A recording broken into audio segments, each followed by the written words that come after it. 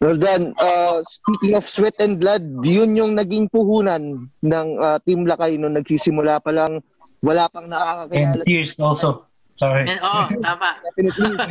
eh, right now, right now, Team Lakay is, masasabi na natin, one of the biggest stables in Asia. Uh, having produced world champions in one championship, in Brave, CF. You know, um, gaano ka ka-proud uh, seeing how it turned out gaano ka kasaya para kina Coach Mark and para sa dati mong team. Think team mo pa rin naman yun. And you know, yung mga bata lang noon na humahanga lang sa inyo, na tulad nila Joshua, nila Danny Kingad, ngayon, nag-uusbungan na as superstars of their own. Gaano ka, gaano ka kasaya at gaano ka, ka proud sa kinainat na ng team? Yeah. If kung uh, hindi ko ma-measure eh. I cannot measure how how proud I am. But I really, parang, yeah, I thank God. At least, uh, hindi naman ako, I didn't, uh, uh, masasabi kong, yeah, Team Lakay, it's a team na no, noon lang, wala lang kami. But you can see a lot of, uh, a lot of generation kaya nila Danny ito.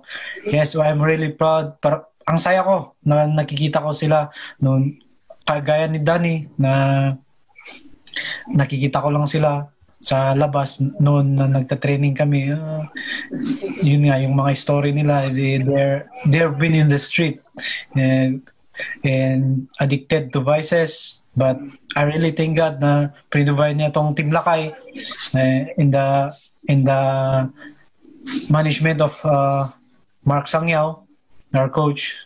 Yun, I'm really, really, gusto, parang inaakit akong bumalik na magturo eh, pero yeah. Mm. Ganun. Uh, as a, as a follow-up lang, uh, Roldan, masaya ka ba na ngayon na ang layo na nung na ang progress ng Team Lakay not only dun sa paano sila mag-perform inside the cage eh, pati yung resources nila ngayon uh, talaga makikita mo yung nakikita mo na yung nandun yung progress especially pag tinignan mo yung bagong facility training facility talaga state of the art. Yeah yeah uh, kaya nga masasabi kong uh, yeah noon tinatahi namin yung mga punching bag yung boxing gloves but yeah dito mo talaga makikita yung improvement. Mm-hmm. uh, it's come from if you come from nothing and then the blessings now in here. Doon mo na doon ko rin nakita yung uh-huh. perseverance ni coach eh.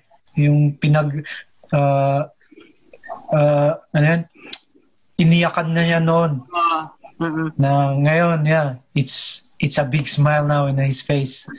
Then, I really thank God na naging naging one of our naging uh, party kami noon.